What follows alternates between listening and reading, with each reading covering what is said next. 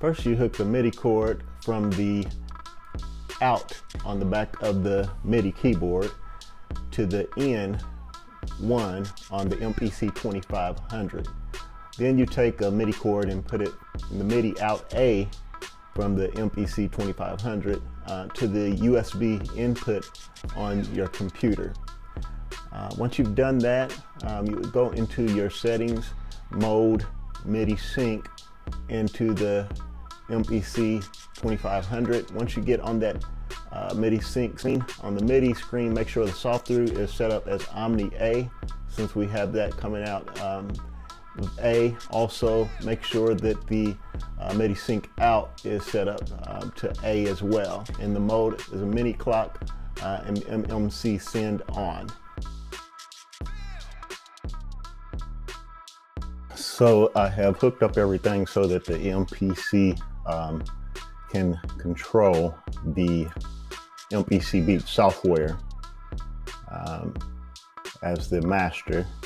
And so now I have to go in and uh, make sure that the MPC Beats software uh, is set up so that it can receive the MIDI information from the MPC 2500.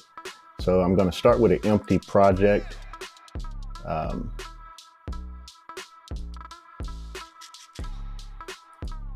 and um, I'm going to just start with a random program. Uh, let's go with the drums that not MPC Beats edition. And um, I'll do the hip hop program in there. When I drag this over, it's going to uh, fill in that program one. So um, the first thing I do is um, I, I, map out because the uh, some for some reason the expansions are not all uh, mapped out already to fit the old MPCs. Uh, and you can see which drums are being hit by, uh, which pads are being hit uh, by just going to the edit program, uh, pad color. And I normally just go to the, the default um, classic velocity, um, which lets me know which pads I'm hitting. And as you can see, they're not hitting the correct pads. So uh, what you do to fix this problem first is just go into edit, uh, program, and note mapping and classic MPC. And once you have that in there, as you can see, they're mapped out like they're supposed to be. Um, the next thing you do is go up to edit,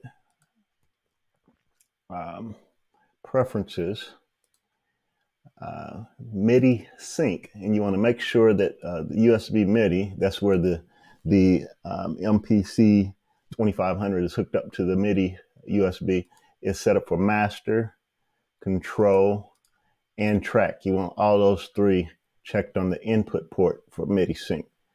Um, and sync receive on uh, for MMC. You want that um, to be selected as well.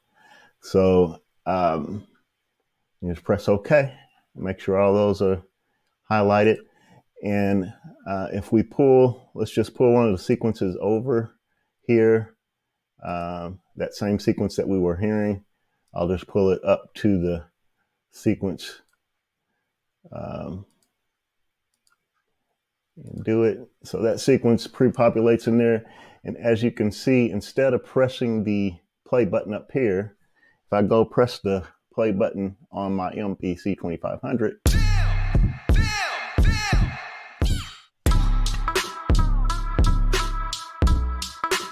there it goes. You keep playing the sequence through, stop it.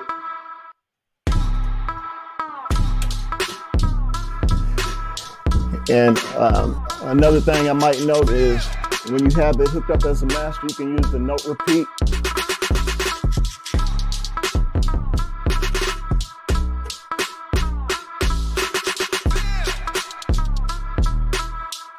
So everything uh, can be played with the MPC now.